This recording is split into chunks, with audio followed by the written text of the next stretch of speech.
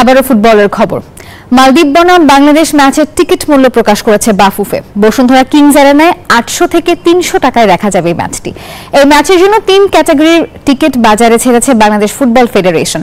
Kings অ্যারেনায় VIP standard টিকিটের মূল্য সর্বোচ্চ আটশো টাকা নির্ধারণ করেছে ফেডারেশন, আর এরপর পাঁচশো টাকায় সি ওয়ান ক্যাটাগরি ও সর্বনিম্ন সি টু ক্যাটাগরির টিকিটের দাম ধরা হয়েছে তিনশো টাকা।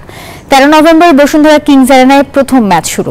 এই ম্যাচের আগে মঙ্গলবার ও বুধবার বসুন্ধরা ব্রাঞ্চের সোশ্যাল ইসলামী ব্যাংক এবং সাউথ ইস্ট ব্যাংক থেকে টিকিট সংগ্রহ করতে পারবেন দর্শকরা। এছাড়াও ম্যাচের আগে স্টেডিয়ামের সামনের বুথ থেকেও টিকিট কাটা যাবে। গেলবার অনলাইন থেকে টিকিট কাটা গেলেও এবারে আর সেটা হচ্ছে না।